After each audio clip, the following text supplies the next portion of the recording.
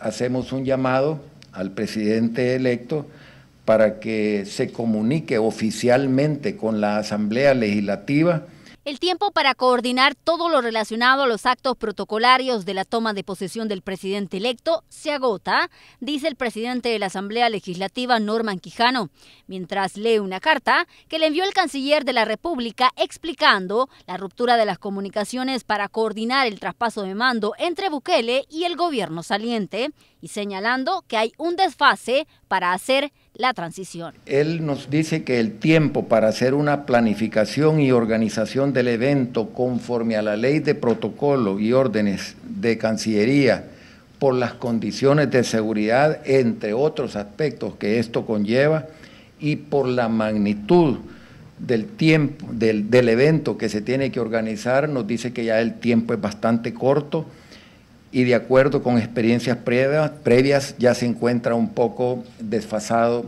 en el tiempo. Seis pisos más abajo de donde Norman Quijano daba la conferencia de prensa, el diputado Numan Salgado de Gana respondía, señalando que son los partidos mayoritarios y el gobierno los responsables de la fractura del diálogo que no permite que hasta hoy haya nada planificado para el 1 de junio. En esta asamblea legislativa se han hecho golpes bajos, hay que decirlo de esa forma. ¿Cómo el presidente Bukele va a estar en buena líder, va a estar eh, eh, en buena sintonía cuando se le está haciendo ese tipo de cosas? Este es el resultado de ello. Como dice el presidente, todo lo tiene fríamente calculado y esto se va a dar, la toma de posesión se va a hacer y se va a hacer en tiempos. Y entre acusaciones y señalamientos, el gobierno y su partido también tenían algo que decir. El gobierno actual ha dado los los procesos en tiempo. Dos días después de pasadas las elecciones, el mismo presidente de la República nombra la comisión de transición y, y se han dado los procesos de manera abierta, conocedores para todo el mundo.